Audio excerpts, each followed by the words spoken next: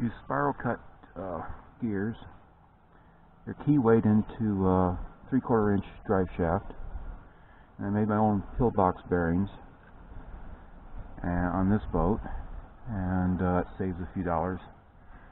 And uh, then the stainless steel three quarter inch solid drive shaft is key weighed. You see the keyway there. And it comes around over here, and you have a track track bicycle sprocket. Threaded on onto this block and then a um, locking ring to lock it in place so you can go forward and backwards without it coming apart.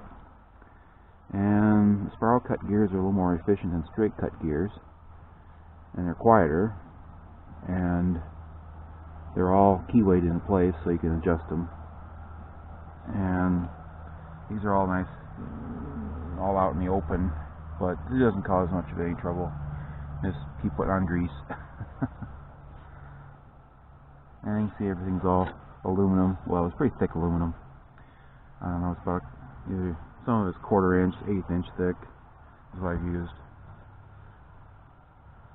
And then the chain tensioner is just a threaded rod through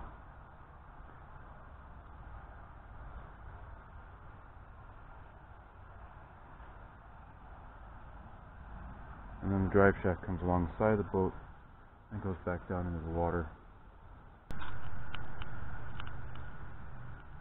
This is the first drive I made and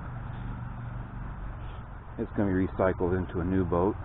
I'm just going to use the the bearings and the drive shafts, uh, recycle those into a new boat and the uh, crank, the bicycle crank, uh, the chain tensioner works pretty well and something like this can be put into a kayak uh, arrangement like this fairly easily.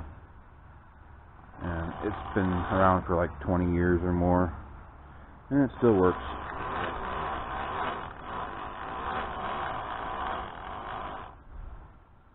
You can get